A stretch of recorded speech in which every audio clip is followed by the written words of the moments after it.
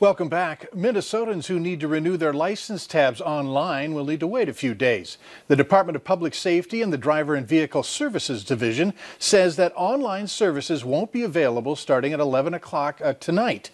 Officials say they hope to be online and whole online services will be back up on Sunday. The state is preparing to launch the new MN Drive computer system next Monday. Fargo Public Library will soon close its buildings to the public and offer no contact curbside pickup. The move, of course, was made due to the rising number of cases of COVID 19 in the area. All online services and virtual programs will still be available. The change goes into effect on Monday. West Fargo students can get some help in the midst of the pandemic. The COVID Student Support Program is available to any middle or high school student in the district.